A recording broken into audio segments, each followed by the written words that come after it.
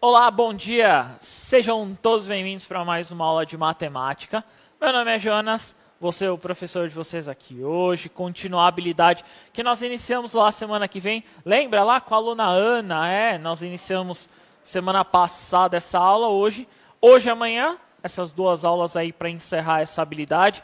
Penúltima semana aí do ano aqui do Centro de Mídias das aulas, né? E hoje, na presença dele, professor barbudo de matemática. Ele, o professor com uma voz de locutor. Ele mesmo, Tony.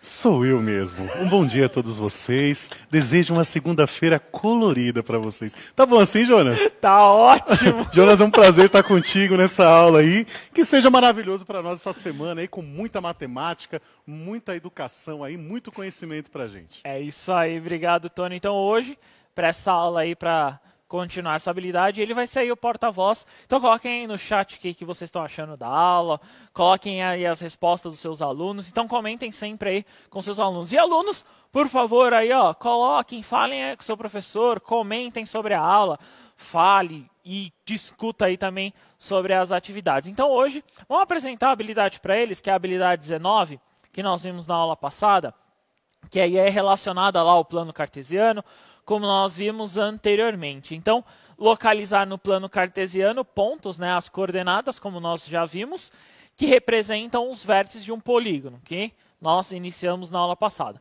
Realizar transformações. Hoje aí nós vamos ver o modelo aí de transformação, né?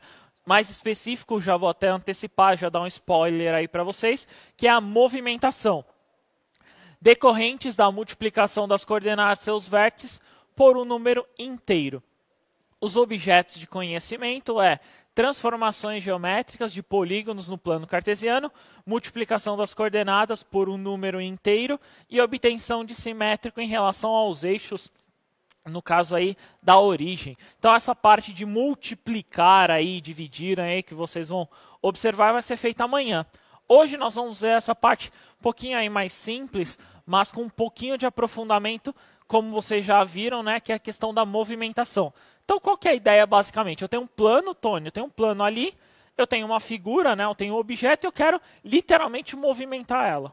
É isso aí, muito bem. Isso mexendo sempre com as coordenadas, pensando na ideia dos pares ordenados, né, dos pontos que formam os vértices dessa figura, é isso? Isso mesmo, eu ah, não vou mudar o formato dela, ela vai permanecer Sim. no mesmo tamanho, na mesma área, comprimento e etc. Sim. Mas eu sou basicamente mudar as coordenadas, eu vou fazer essa movimentação. Perfeito. Vamos tentar só relembrar o que nós vimos na aula passada, pode pôr na telinha para eles, que é o seguinte que é relacionado aí aos polígonos, né? que é o relacionado ao polígono. Então nós vimos esse quadrado aí, esse quadrilátero na aula passada e relembrar aí os pares ordenados. Então, por exemplo, o ponto A aí, ó, que aparece para vocês é o ponto 3 negativo e 5 negativo. Lembrando, né, sempre importante lembrar aí, ó, como nós vimos, né, sempre no valor x y para ordenado, né, Tony?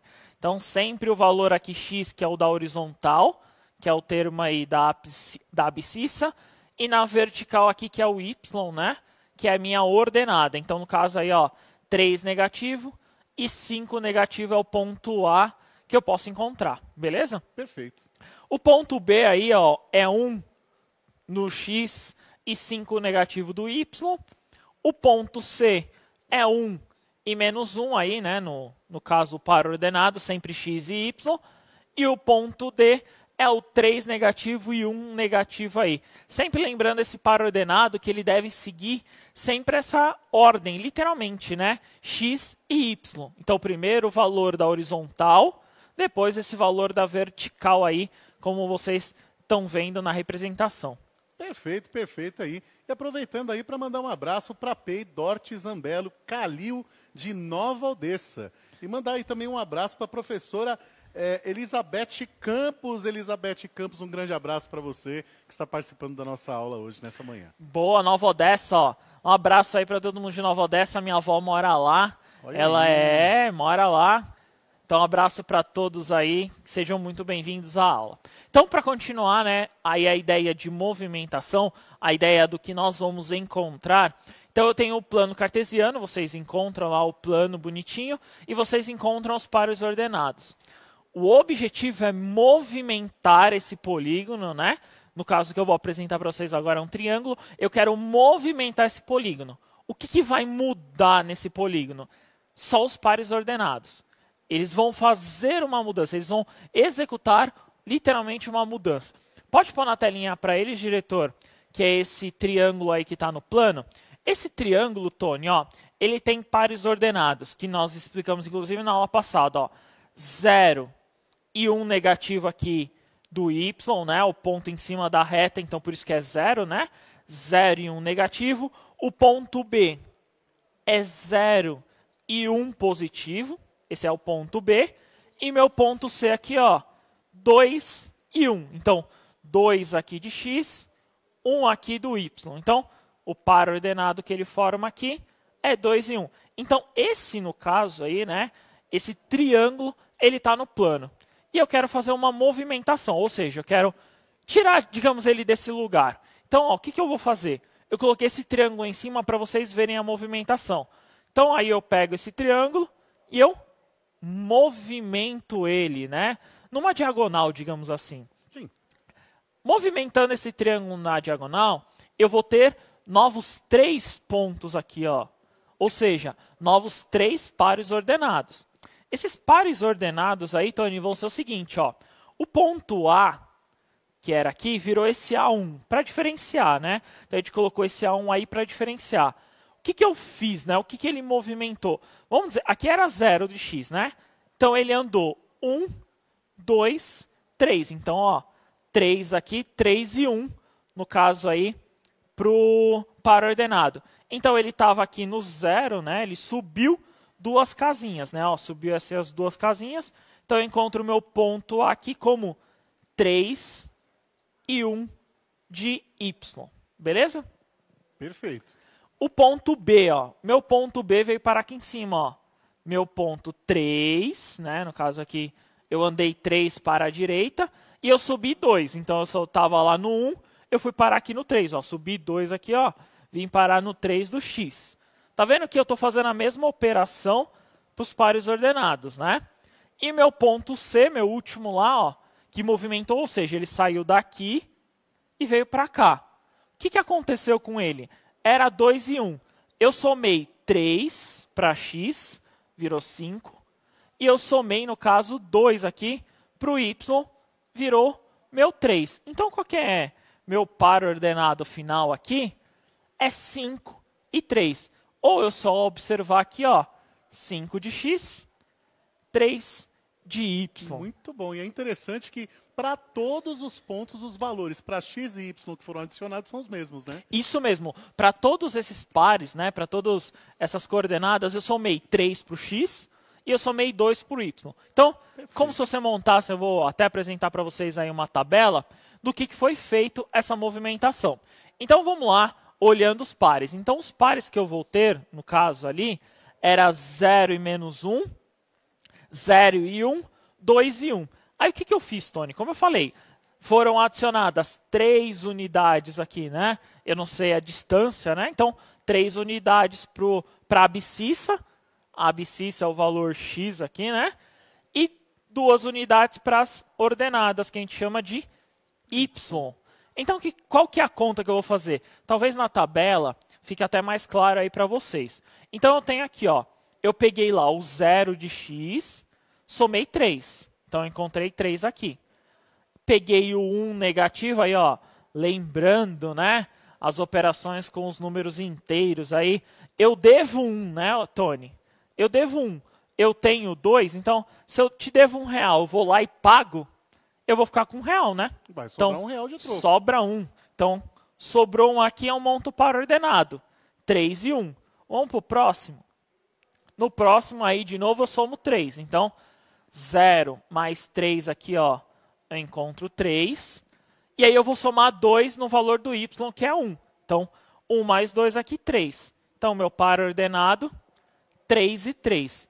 E por último aí, na última relação aí no último ponto, eu vou somar 3 ao 2, como eu falei para vocês anteriormente, né? Ó, 3 ao valor de x, que é a abscissa, e eu vou somar 2 ao valor do y, que é 1 aí, né? Então, 2 mais 1 aqui, 3 eu encontro o último par ordenado. Então eu consegui montar se vocês observarem, eu consegui montar esses novos três pontos, né, esses novos três pares ordenados dessa figura que movimentou. Certinho, perfeitinho, perfeitinho. Não poderiam ser outros valores, né? Porque senão a gente acaba entortando a figura, né? E não é essa ideia, né? Você muda, literalmente, você muda a área dela, você Sim. muda o comprimento dela, né? A questão do perímetro. Se você mudar o par ordenado, você muda o formato da figura, né? Muito Basicamente, bom, é essa a ideia. Então, o que, que eu quero que vocês entendam aí? A movimentação basicamente ou ela é uma adição ou uma subtração, depende para onde eu vou movimentar. Então, essa movimentação eu não mudei as características aí da figura, eu só mudei os pares ordenados dela. Beleza, é Tony? Perfeito, perfeito. Beleza, então vamos tentar uma atividade aí para ver se a gente consegue localizar e consegue identificar. Na telinha de vocês está o seguinte, ó, escreva as coordenadas dos vértices de um, de um polígono, né? Adicionando 1 um, a sua abscissa e 3 as suas ordenadas. Como eu não consigo pedir para vocês construírem, né, até mandar foto aí para colocar esse polígono no plano, então eu vou pedir as coordenadas. Como são quatro, é a primeira vez, é a primeira atividade aí, para a gente ir bem devagarzinho, quatro minutinhos, a gente já retorna. Bom trabalho.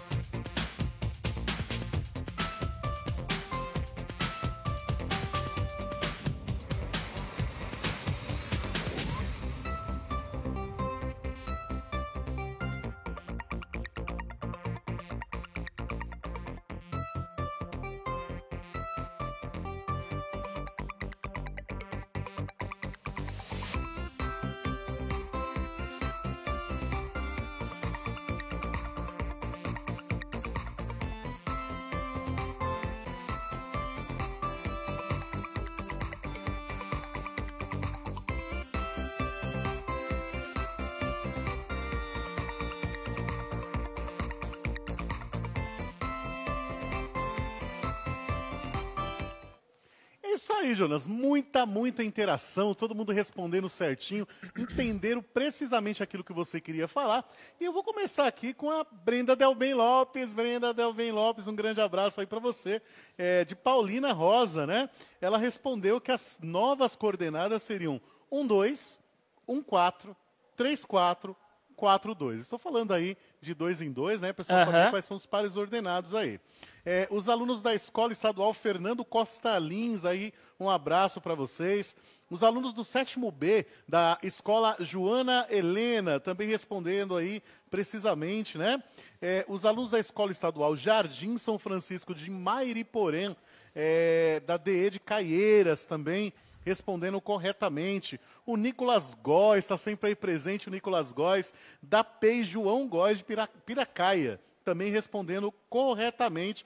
E aí eu vou encerrar, tem muita gente interagindo aí, né?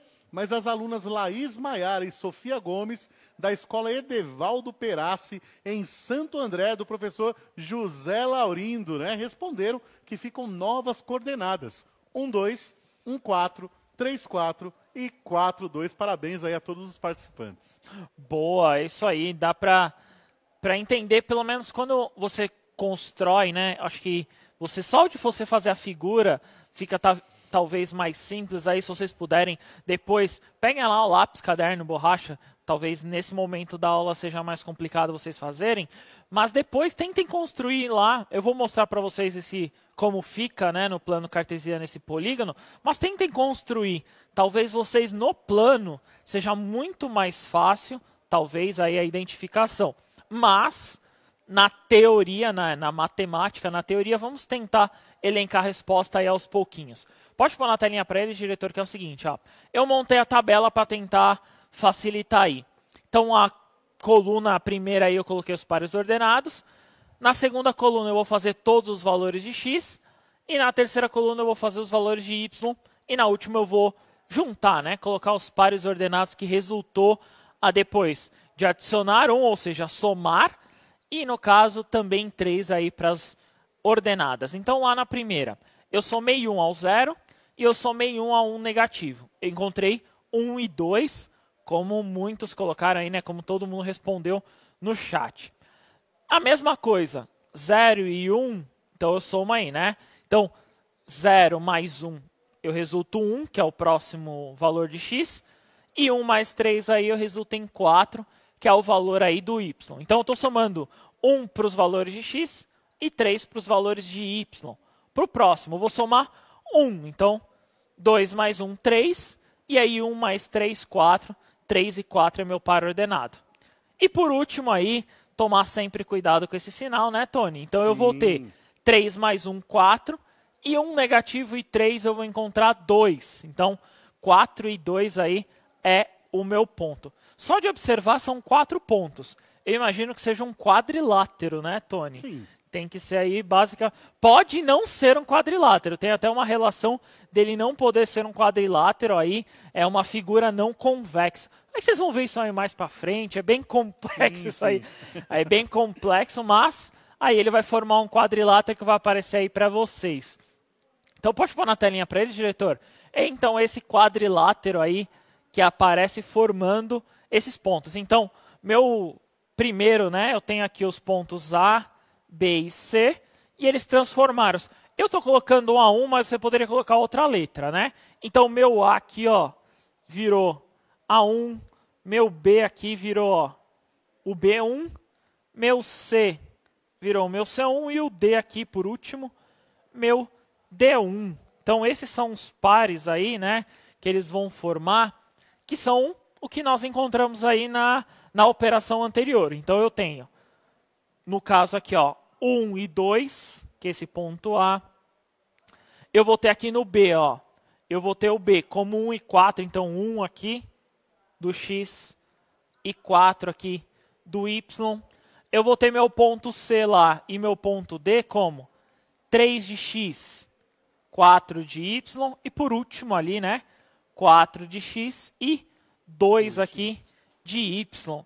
Lembrando aí, esse quadrilátero é um trapézio, né, Tony? Trapézio retângulo? Isso, um trapézio retângulo, isso né? mesmo, é um trapézio retângulo, né, porque ele forma 90 graus aí em uma das pontas, né?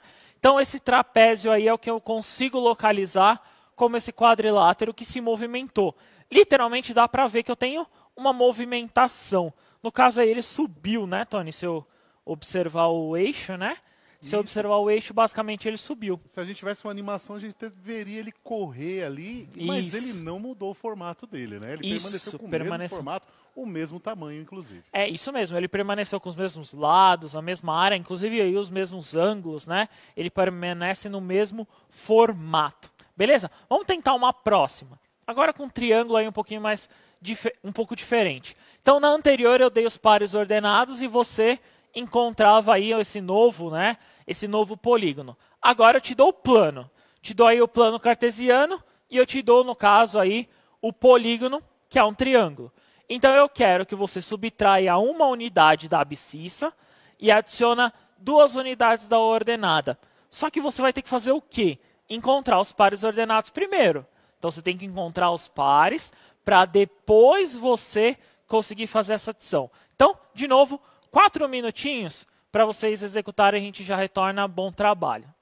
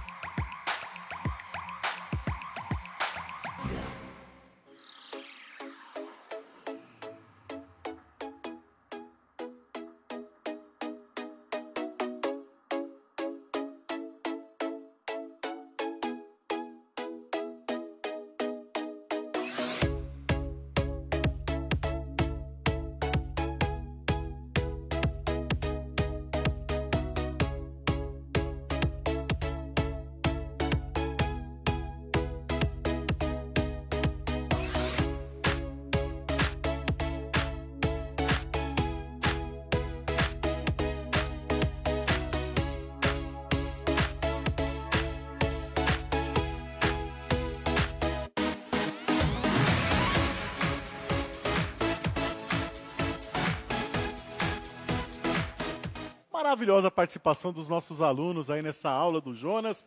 E a gente começa mais uma vez com a Brenda Delben Lopes, também respondendo corretamente. Ela disse que as respostas para A1 é menos 2 e 1, para B1, menos 1 e 3, e C1, 0 e 1. Será que isso está certo? Tá, isso aí. Não, não sei, não sei. Vamos, vamos lá. Olha, É, olha aí. passou de fase. A Escola Estadual Antônio Florentino, da Delegacia de Ensino Itapeci... Não, diretoria, perdão. Itapecerica da Serra, também respondeu corretamente aí, né?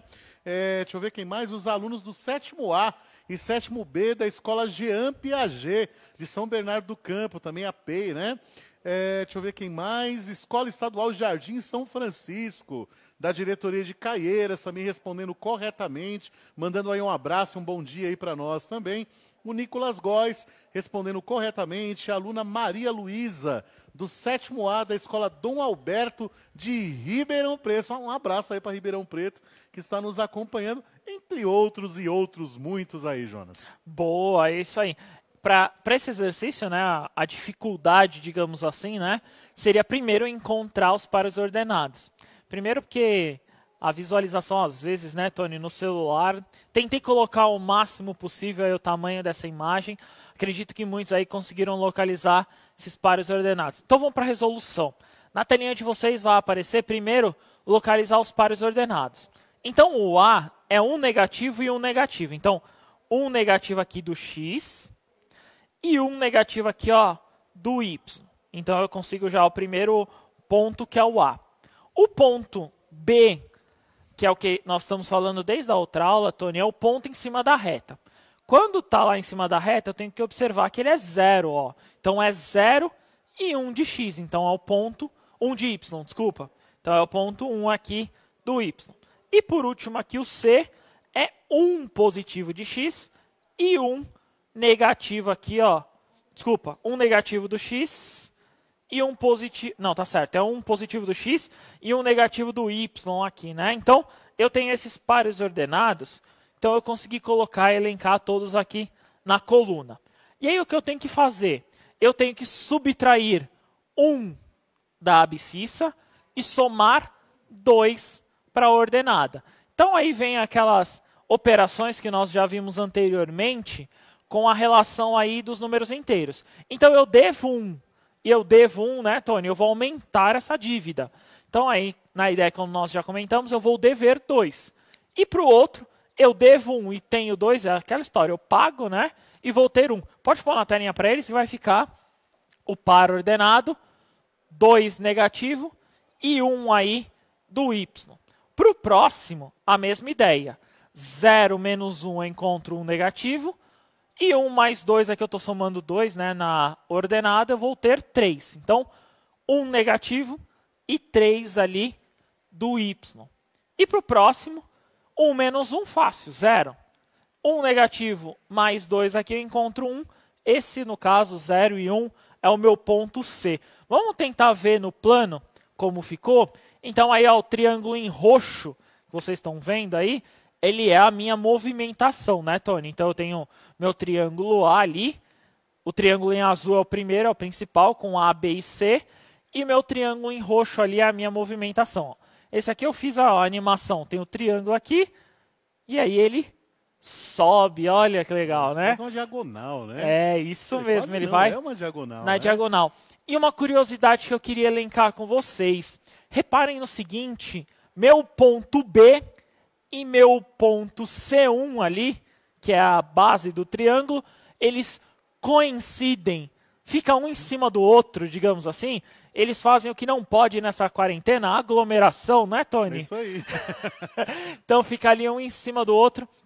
Reparem, esse ponto aí, tanto o B, né, que é meu ponto B anteriormente aqui é 0 e 1, um, o meu ponto C1, né, o que eu construí, que ele movimentou, ele estava aqui, ele veio para cá, ele vai acontecer no 0 e 1 um aí, ó. Vou até voltar um pouquinho para vocês verem de novo, ó.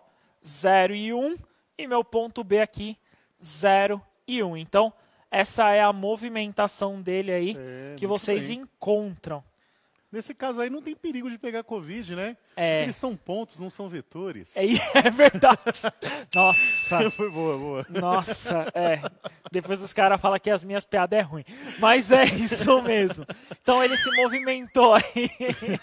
Ele se movimentou e esse ponto aí ele coincide. Foi proposital. Eu coloquei por quê?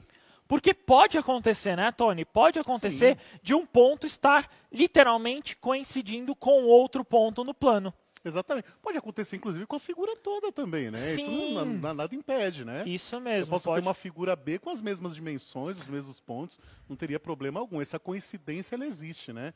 Porque o plano, ele é infinito, na verdade, né? Isso mesmo. Então, basicamente, aí, é, são dois pontos, né? São dois vértices que ele assumem aí os mesmos pares ordenados. Seria mais ou menos essa a ideia. Então, para sempre relembrando aí o que eu quero colocar, vamos, eu queria voltar algumas coisas que é referente a algumas contas, tá, Tony? Eu vou voltar no exercício no 1. Pode pôr na telinha, por favor, diretor. Nesse exercício 1 aí, eu quero relembrar a movimentação, porque é, essa movimentação eu fiz a adição, sempre relembrando esse contexto, relembrando esse formato, eu fiz aí a adição. Então, vou até voltar um pouquinho. Então, eu somei aí 1 para a abscissa e eu somei 3 para a ordenada. Na segunda atividade, vou até avançar um pouquinho. Então aí, ó, vocês vão ver, vou até apagar aqui para facilitar.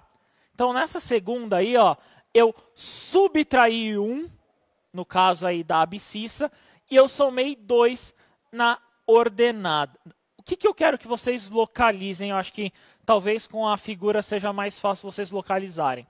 Subtrair é andar, no caso no plano, para a esquerda. Então aí, ó, meu lado. Por isso que eu gostaria de sempre. A gente já viu isso em inúmeras aulas, né? Nós já vimos isso muitas vezes. No caso aí, andar para a esquerda. Então aí, quando você vê o plano, quando você vê essa movimentação, ele está andando para a esquerda, nesse caso aí para vocês. E quando eu estou adicionando, eu estou movimentando para a minha direita, né, Tony? É Tomar. Isso Por isso que na reta horizontal, como nós já vimos, você para a direita é positivo, para a esquerda é negativo. No caso, nos dois aí, a reta y eu subi. Subir é positivo, por isso que eu adicionei. E se eu, no caso, descesse a movimentação, aí no caso eu teria uma subtração. Pode pôr de novo na tela, que eu vou ter aqui. Ó. Então eu tenho dele, né, no caso, no contexto, eu tenho o triângulo, aí eu subo esse triângulo. Então eu subi e andei para a esquerda ao mesmo tempo, naquela diagonal como nós estávamos comentando. Exatamente, é isso aí. Se você subtrair do eixo X, a gente vai descer a figura, é isso? Isso mesmo. Isso mesmo. do eixo Y, perdão. É do eixo Y, é Exato. isso mesmo. Então você vai descer a figura. Sempre nesse movimento, vou até, vamos voltar aqui, ó. Esse movimento, no caso, ele está indo numa diagonal porque ele está fazendo os dois ao mesmo tempo. Lembrando, como vocês estão observando, a imagem permanece a mesma, então os ângulos são os mesmos, a, os lados aí são os mesmos, o que mudou são os pares ordenados do vértice. Beleza, Tony? É perfeito, é isso mesmo. Muito bem colocado. É, alguns professores aqui questionando a ideia de subtrair um de um, né? É, mas era no, no, exercício estava sendo dito para subtrair uma unidade, né? Não subtrair ah. menos um, na verdade, tá? Só para esclarecer aqui que o pessoal tá, tá falando aqui no chat também, né? É, e mandar um abraço para a Escola Estadual João Ernesto de Almeida Vani, participando aí da nossa aula. Beleza. Então, sempre nesse contexto, nesse formato, Hoje, basicamente, nós vemos essa movimentação, nós vamos elencar nesse contexto. Algumas características que eu quero, principalmente vocês alunos, coloquem aí no caderno. Eu tentei, principalmente nessa aula, elencar várias coisas aí que encontra a ideia da recuperação e do aprofundamento. Então, essa aula aí, os professores com certeza podem comentar com vocês, alunos, que é plano cartesiano, que foi o que nós estamos olhando. Sim operações com os números inteiros, como nós vimos. Sim. E aí, no caso, a movimentação aí do. No caso, foi um triângulo e nós vimos aí também um trapézio, ele se movimentando. O que, que eu quero aí que vocês elenquem, principalmente para a próxima aula amanhã? Para a próxima aula amanhã, tentem já deixar no caderno, talvez aí até um plano cartesiano já construído. Se vocês olharem né, os planos cartesianos que nós fazemos, Tony, eles são geralmente os mesmos. Eles não vão se alterar, eles não vão mudar a formatação. Não, não vão. Beleza? Tá aí Beleza, tranquilo. tranquilo. Nessa formatação que eu quero que vocês elenquem, que vocês vejam aí, é o seguinte. Pode pôr de novo na tela que eu quero frisar o seguinte. Então, vou até fazer a movimentação dele aqui de novo. De novo. Então, eu somei aos pares ordenados. Então, eu estava num ponto A, eu movimentei aqui para um ponto A1. A coordenada que você vai colocar tanto faz aqui, né? A coordenada não, o ponto vértice, né? Então, ele fez essa movimentação. Meu ponto B, que estava aqui, ele movimentou para cá. E por último, pra, só para não ficar ali por cima, meu ponto C, ele movimentou para cá. Movimentação, eu não estou mudando a característica, eu estou, somando ou subtraindo, adicionando ou reduzindo. Basicamente, eu estou mantendo a mesma figura. Para a aula de amanhã, o que, que nós vamos fazer? Vou até antecipar. Nós vamos pegar esses pares aqui, essas coordenadas, né? E nós vamos multiplicar ou dividir. Basicamente, multiplicar. Para a aula de amanhã, a gente vai basicamente multiplicar. Por que eu quero elencar esse contexto? Eu quero elencar pelo seguinte fato. Amanhã, sim, vai mudar essa imagem. Aí vai acontecer o que a gente chama de ampliação ou redução, redução. né? Sempre Aí, mais para frente, vocês vão ver a proporcionalidade que existe entre os lados, entre as figuras. Bem. É sempre importante relacionar esses contextos. Então, basicamente, o que, que eu vou pedir aí para vocês na aula de amanhã é manter esse plano cartesiano. Então, tentem já chegar na aula amanhã com o plano cartesiano para a gente facilitar esse processo. Posterior, então deixem lá anotado no seu caderno, montem lá o plano para facilitar esse processo, beleza? Perfeito, perfeitíssimo. Ok? Vamos só mostrar, pode colocar para eles, diretor. Então, a aula de hoje nós vimos aí a habilidade 19. Hoje é a segunda aula dessa habilidade 19. Amanhã nós vamos encerrar essa habilidade. E na quarta-feira, a última habilidade do ano. Ufa! Vamos terminar 2020 aí, né? Então, nós vimos, no caso, a movimentação e os polígonos no plano cartesiano. Não deixando de esquecer sempre, né? Coloquem aí a avaliação, o que, que vocês acharam da aula. Coloquem lá. Nós basicamente montamos essas aulas aí com essas orientações aí de vocês. A última aula é o que mais gerou dúvida, né? Essas últimas aulas é o que mais gerou dúvida, que nós vamos falar sobre os ângulos, nós vamos comentar sobre os ângulos. Então, basicamente, é relacionado a isso. Sempre um prazer. Obrigado, Tony. Obrigado você, Jonas, pelo convite. Obrigado. Sempre um prazer estar aqui com vocês. O máximo na aula aí. Continue os estudos. Lembrando, não deixem de entregar as atividades. Estamos encerrando o ano, então entreguem as atividades aí para o seu professor. Professores, muito obrigado pela participação de vocês. Até a próxima, né? Até a próxima. Então, falou, rapaziada. Até a próxima. Tchau, tchau. Tchau, tchau.